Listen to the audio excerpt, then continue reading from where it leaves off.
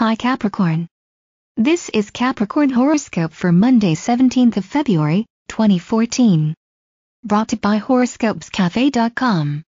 When an idealistic coworker or friend makes an offbeat suggestion to you today, take it seriously. Sometimes, a somewhat naive mindset is exactly what it takes to solve a complex problem. Taking a more simplistic and positive view of your life costs nothing, but it could bring you riches. It's time to trust more than you suspect, to smile more than you frown and to hope more than you fear. A subtle shift toward idealism will bring big rewards.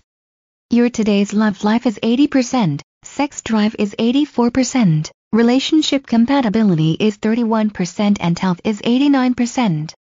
Today's lucky numbers for Capricorn are 98, 72, 51, 97, 46 and 46.